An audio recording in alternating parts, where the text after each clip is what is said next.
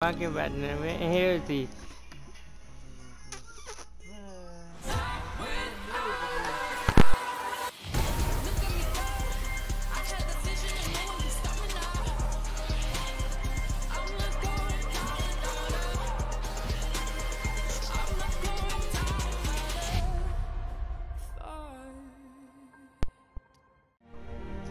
Diving in the beer. Bye!